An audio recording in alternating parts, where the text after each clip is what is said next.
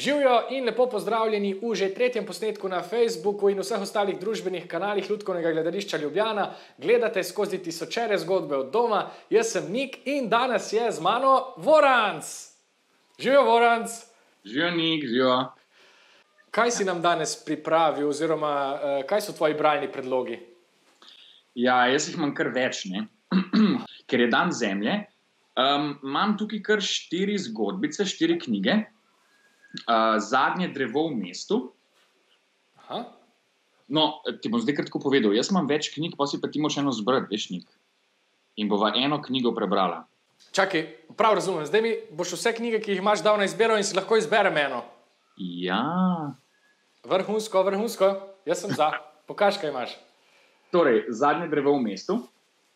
Mhm. Um, potem imam stoletno ribo Albo. Wow. Ja. Naslov. Imam kapitana Nika in njegovega psička Reksa. Aha. Aha. In Všeč mi je ta naslov, no, ker je moj soimenjak očitno ta kapitan. je glavni lik. ne, Uh, Ja. no, in tukaj je pa še Greta in velikani. Aha, A, to gre, to že poznam, sem jo že prelistal. Um, in če so to knjige, med katerimi izbiram, bi rekel, ja, ne veš kaj, mene je to ime preveč pritegnilo, kapitan Nik in kako že, kdo je zraven njega? Psiček Reks. Psiček Reks, odlična izbira, potrjeno, užigosano. Ja, Zdaj imam pa jaz en predlog. Um, glede na to, da si mi ti ponudil izbiro med vsemi temi knjigami, ki si jih prinesel s sabo, oziroma jih imaš pri sebi, jaz predlagam, da tega le kapitana Nika kar prebereva, oziroma da ga prebereš ti, ampak na izbiro pa ti ponujam katero koli tehnološko sredstvo želiš, da v tvoje pripovedovanje boljše. Na kakršen koli način že, glede na to, da se zdaj pogovarjava prek interneta, imamo to možnost. Ne vem, a hočeš posebne efekte, hočeš glasbo, a želiš animacijo. Kaj se ti zdi, zdi, da bi tvojemu pripovedovanju najbolj pripomoglo? um, mislim, da je glasba pravi odgovornik. Odlična izbira, odlična izbira. Ja. Čakaj, potem mi moraš dati pa samo sekundo, mm, da tole le pripravim. Okay. To bo noro. Dobro. E, jaz mislim, da imam nekaj vzorcev glasbe, sem pripravil. Ja, um, ja, lahko že kar začnemo z glasbo, Nik. Jo, deva, seveda, čakaj, da vidim, kaj imamo na, na repertoarju. Evo ga, Okay. je to v redu za začetek. Ja, ja, je, ja, taka živahna glasba, to mi je všeč. Okej. No, Super. mi je vzel iz ušesa.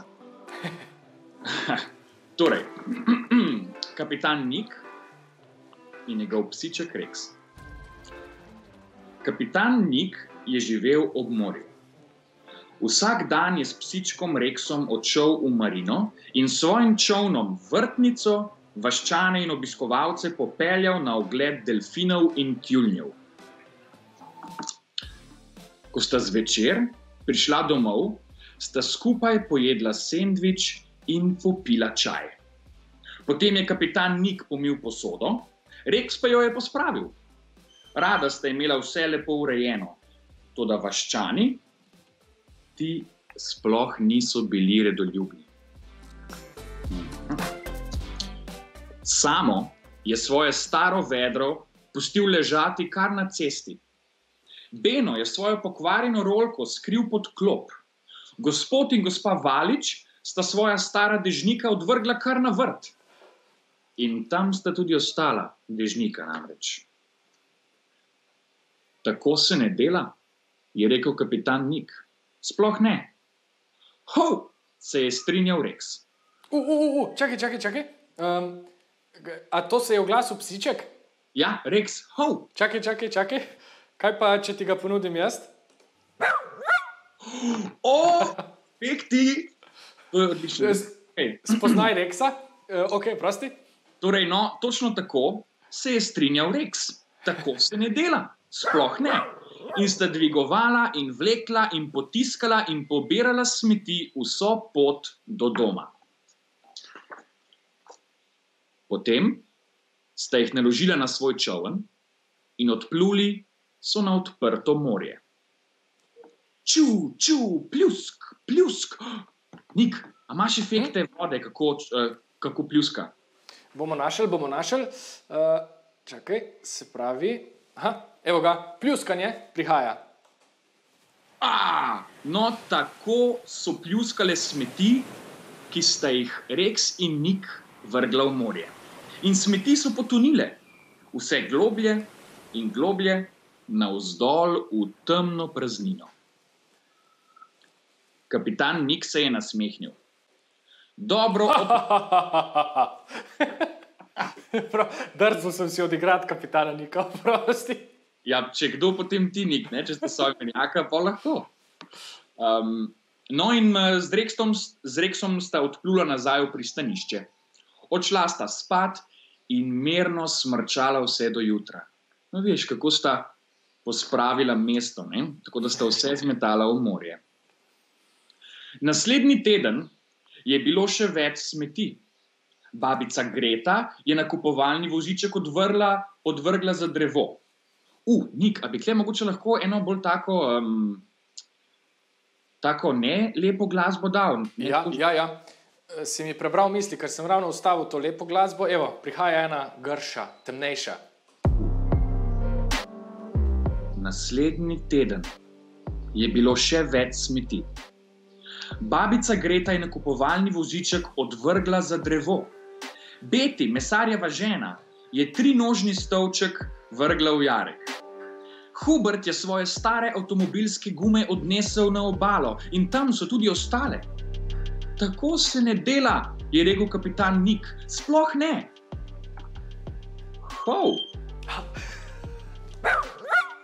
se je strinjal psiček Rex. In sta vse lepo pospravila in smeti odpeljala na odprto morje.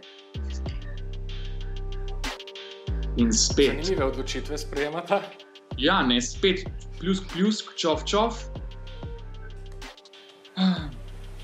Valovi so posneli smeti vse naokrog. Tako se ne dela, je rekla mala morska deklica Mili. Sploh ne. Vu, so se strinjali tjulni in delfini. Uh, stop igra. Čakaj, Ja. čakaj, čakaj. Uh, si rekel tjulni, evo jih. In delfini.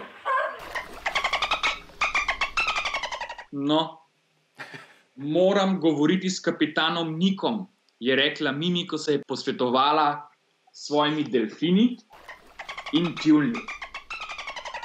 No, kako je polno morsko dno smeti. Naslednjega večera sta kapitan Nik in psiček Rex doživela veliko presenečenje. Ej, Nika ima še grozno glasbo? Ja, ne. Ja, a hočeš jo umaknem?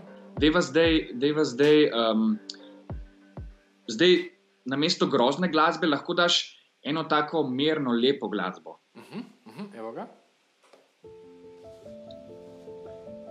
No, naslednjega večera sta kapitan Nik in psiček Rex doživela veliko presenečenje. Mala morska deklica je sedela na skali zraven pristaniškega zidu. Živijo, je pozdravila Mili. Veliko smeti je v tvojem čovnu. Res je, je rekel kapitan Nik. Nik. Prebivalci naše vasi so zelo nemarni. Hm, je rekla Mili. Nekaj ti moram pokazati. Pojdi z menoj. In kapitan Nik si je nadel kopalno obleko, Rex pa je šel za njim. Imaš valove, Nik, dej valove. Imam, prihajajo. Semkaj, je rekla Mili in se potopila. Kapitan Nik in psiček Rex sta ji sledila. Plavali so globlje in globlje in še globlje, prav do morskega dna. No, takole.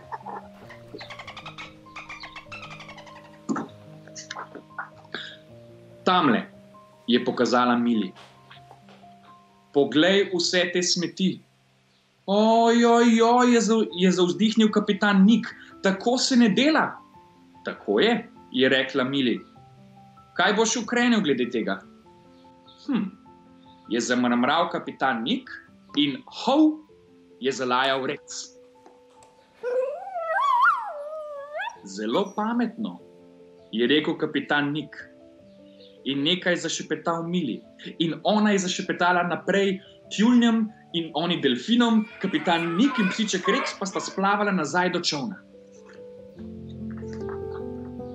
Naslednji dan je kapitan Nik izobesil tablo.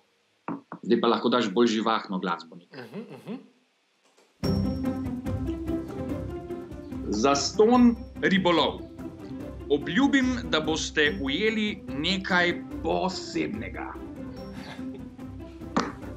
In vsi vaščani so prihiteli. Vendar niso ujeli rib, sploh ne.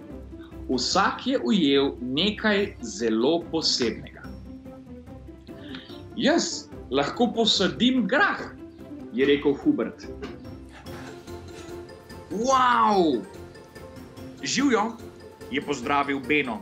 Izdelal bom super dirkalnik. Lahko grem plavat, je rekel samo. Posadila bom rdeče pelargonije, je rekla babica Greta, kot nalašč za polico, je rekel gospod Valič in na robe obrnjen stol obesil na steno. To bo pa moja nakupovalna košara na kolesih, je rekla gospa Beti in vzela rolko, na njo pa dala košaro. Hov, je zalajal psiček Rex. Kapitan Nik se je pa nasmehnil. Vsaka stvar je za nekaj uporabna. Zdaj pa pojdimo domov na sendvič in čaj. Oh. In ko je ladja vrtnica priplula nazaj v pristanišče, je Mili sedela na svoji skali zraven pristaniškega zidu in mahala v slovo. No, Aha. Zelo lepo, zelo lepo. Najprej sem mislil, da bo tale kapitan nek zlobnež, ker je v bistvu vse smeti metal v morje, ampak še dobro, da ga je morska deklica potem spreobrnila. in naučila, kako se dela prav. Ne? Ja, ja, v bistvu pa posledično še celo mesto. Ne? Vsak je potem na nek način recikliral ali pa tiste odpadke, ki so jih prej pridelali, um, zdaj uporabil na neke druge načine, pa mogoče tudi odpadke od drugih ljudi. Sem prav razumel. Mhm. Vsak je ujel nekaj uporabnega ne? in vsak predmet od drugega, ki ga je zavrgal, uporabil za nekaj boljšega, drugačnega. Mm. Najlepša hvala, Voran, za tole branje. Upam, da ti je bila všeč moja glasbena spremljava in da te ni preveč motila. Nikakor. Um, kako ti gledaš recimo, na okoljsko problematiko? Kaj se ti zdi najbolj pomembno? Uh, ali pa v branju te knjige, kaj je tisto, na kar si največkrat pomislil? Uh, kaj je nekaj, kar lahko tudi mi recimo, sami počnemo? Ja, mm, največkrat sem pomislil na to, da nismo sami. Mm, Mhm. Da smo za okolje in za svoje lepo mesto, za naravo odgovorni vsi. In to tudi ta zgodba zelo lepo se mi zdi prikaže. Um, ker pokaže celo mesto, ne? celo mesto skupaj, stopi skupaj in um, počisti morsko dno. Um, kaj se pa lahko, no, kaj meni um, da ta zgodbica? No?